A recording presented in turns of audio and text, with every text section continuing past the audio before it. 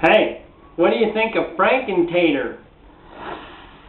No, it is not my gastrointestinal surgery, although some people think I need it. Not really. Uh, it's a sweet tater, grown by these very two hands and the earth and God. Amen. Amen, Brother Amen. Jim.